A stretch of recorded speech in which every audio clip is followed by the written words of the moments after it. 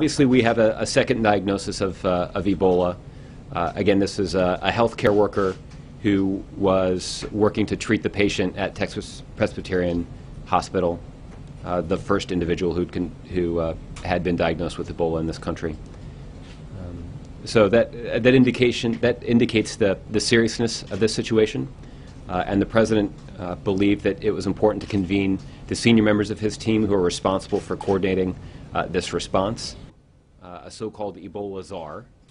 Um, what I, uh, I'll reiterate what we've said in the past on this, which is that we have, uh, well, again, there are clear lines of responsibility that are in place.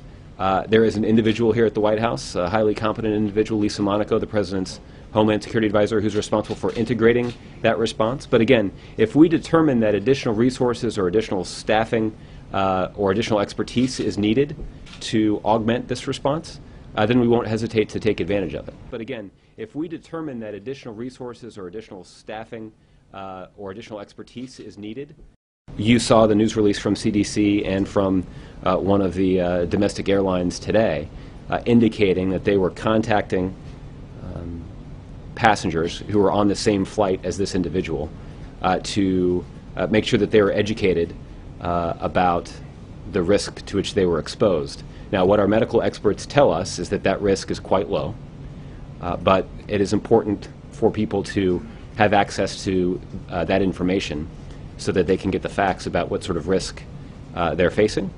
Uh, again, that risk is low, uh, and what steps uh, should be taken if necessary in the unlikely event that they do start to display some symptoms. So, There's not, there's not one person in charge. uh, I think that there are individuals who are the there are individuals who are directly responsible for their line of responsibility, and uh, people should continue to be confident uh, in the response that's organized by the government in reaction to this specific uh, situation. Uh, the reason for that is simply that we have a modern medical infrastructure in place that, again, has not been flawless. We pointed out why that was the case, that even one transmission to a health- healthcare worker is unacceptable. Uh, people should take solace in the fact that, quite frankly, we know exactly how uh, Ebola is transmitted. It's not transmitted through the air, it's not transmitted through food or water, but only through close contact with the bodily fluids of an individual that has symptoms of Ebola. Uh, but this is a this is a deadly, graphic disease. The CDC today is saying it was improper for the healthcare worker to fly from Cleveland to Dallas-Fort Worth. Uh, the president does believe that we need to see more from the international community, uh, that we have not seen uh, a sufficient commitment of resources and personnel from other countries uh, to dealing with this urgent situation in West Africa.